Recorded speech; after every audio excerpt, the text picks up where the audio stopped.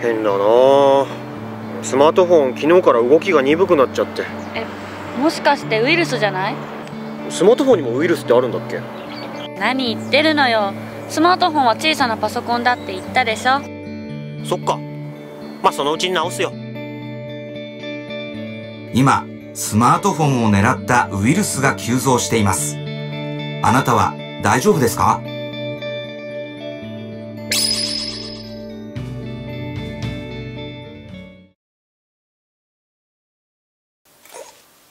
ここは。これよりウイルス感染部分の摘出手術を始める。え？ー、待ってください。どういうことですかそれ？君麻酔の効きが足りないぞ。まあいい。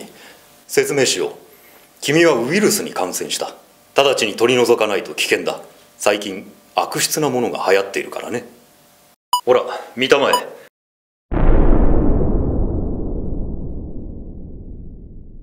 いやいやそれスマートフォンのウイルスの話でしょ？僕は関係ない。スマートフォンには君の個人情報が全て入っている。君の分身だ。つまりスマートフォンのウイルスは君のウイルスでもあるんだ。はさあ手術を再開しよあちょちょっと待ってください。うまだ納得しない。いいだろう。私は患者の意思を尊重する主義だからじっくり説明しようほら見たまえ。君のスマートフォンだ。スマートフォンのウイルスには主に2種類ある。まずスパイウェア。スマートフォン内の情報などを盗み取ってしまうウイルスのことだ。例えば見た目はゲームアプリでも見えないところで端末の位置情報やアドレス帳の内容を外部に送信してしまう。次にボット。外部からの指令に従って動く乗っ取り型のウイルスのことだ。語源はロボットから来てる。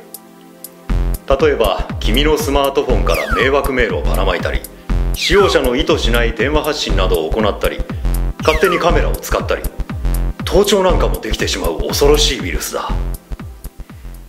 これで理解してもらえたよね？分かったから早くここから降ろしてください。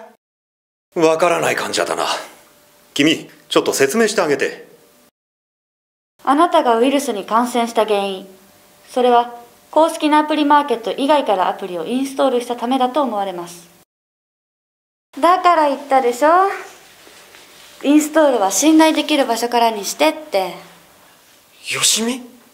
公式のマーケットでは不正なアプリを削除したり事前審査をしたりきちんと管理されているのよ。一方正規のアプリの改造版や海賊版などを不正に配布しているサイトではウイルスが混入している可能性が高いの。ウイルス感染までの手口の流れを見てみて。まず不特定多数に送られる迷惑メールを使った手口。メールの本文に不正アプリを置いてあるサイトの URL が書いてある。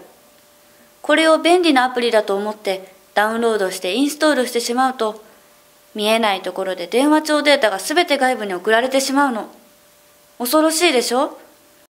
次に SNS や掲示板サイトなどでの悪意ある書き込みを使った手口。これも面白そうだとインストールしてしまうとウイルスに感染するの。ヨシオが感染したのはこれでしょ？うん。見て。ほらこれが実際の不正アプリ。インストール時に求めてくる権限の中に連絡先データを読み取りというものがあるでしょ？このアプリは電池の持ちを改善できるものらしいけどこんな権限必要ないわよね。これで怪しいと気づくことができるわ。でもヨシオはそんなこと気にも留めない人だからまあウイルスに感染しても仕方ないわね。先生お願いします。さあ始めようか。た助けて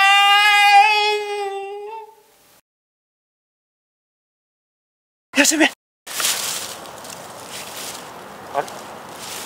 れ？よしみ？手術着は？何寝ぼけてるの？ほらウイルスアプリの検知と駆除の方法を IPA のサイトで見つけたからすぐにやってみて。よしみ。え？何甘えてるの？スマートフォンのセキュリティは自己責任よ。ほら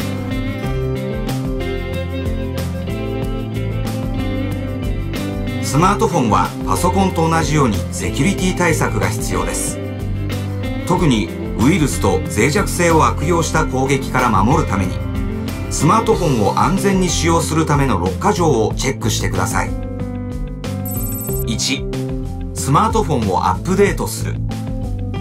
脆弱性を悪用した攻撃に合わないように販売元から OS のアップデートが提供されたら早めにアップデートし常に最新の状態にしておきましょう。アプリについても常に最新版にアップデートしておきましょう。2スマートフォンにおける改造行為を行わない。iPhone におけるジェイルブレイクつまり脱獄行為や Android 端末におけるルート権限奪取行為などはやめましょう。ウイルス感染の危険性を自ら高めてしまう可能性があります。3信頼できる場所からアプリをインストールする。アプリは iPhone なら App Store から Android 端末なら携帯電話会社が運営するマーケットなどアプリのチェックを実施している場所からインストールしましょう。間違って公式マーケット以外からインストールしてしまわないように普段から設定しておく方法がおすすめです。設定画面からアプリケーションを選択し提供元不明のアプリのチェックを外しておけば OK です。4 Android 端末ではアプリをインストールする前にアクセス許可を確認する。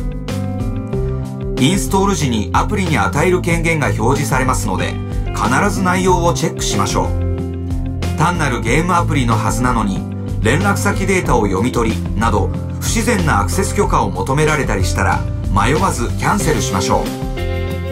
5セキュリティソフトを導入する。これはパソコンと同じです。最近では紛失盗難対策機能も充実してきています。6スマートフォンを小さなパソコンと考えパソコンと同様に管理する。企業や組織でスマートフォンを活用する場合あらかじめ決められたスマートフォンの利用ルールを守りましょう。特に紛失盗難時。スマートフォンが他人に勝手に操作されないよう端末をパスワードなどでロックしておくことは必須です。以上6箇条を守るようにしましょう。また最近は Android の公式マーケットにもウイルスアプリが紛れ込んでいたことが報告されています。アプリの評判をチェックしたりインターネット上でアプリ名で検索して悪い評判が出ていないかチェックしたりすることが有効な場合もあります。日本の元気を IT で私たち IPA は誰もが安心して暮らせる頼れる IT 社会の実現を目指します。